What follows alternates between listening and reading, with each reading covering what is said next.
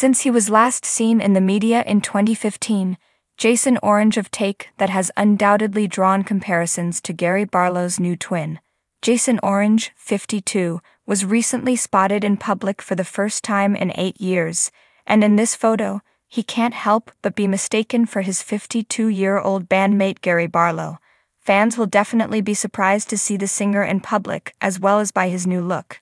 When the Mancunian singer decided he didn't want to keep making music and performing, the trio split up in 2014. He said there were no fallings out, only a decision on my part that I no longer wish to do this, in a statement released by the band. Jason no longer had his short, recognizable hair. Instead, it was longer and messier, with a gray mustache and stubble. He was seen grinning as he walked through London and looked at real estate listings.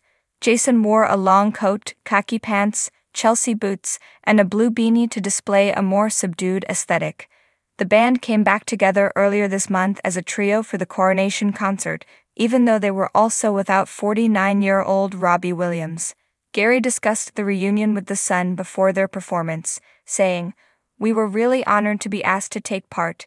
It's a huge moment in our country's history. After a hiatus of four years, the band returned to live performances with singles like Never Forget and Greatest Day. The band declared that they were back for good on Instagram the BBC posted a video of their performance, and fans commented, Incredible performance as always, and such a huge stage and so many insane musicians.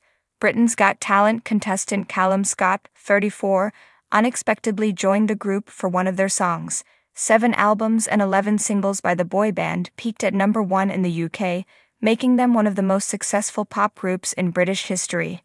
The group's 1995 hit Back for Good, which reached number one in 31 different countries and made their US top 10 debut, propelled them to international fame.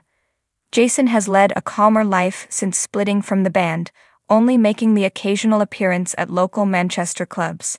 Jason was apparently chosen as a band member over his other bandmates because of his dancing skills and ability to act as the group's visual.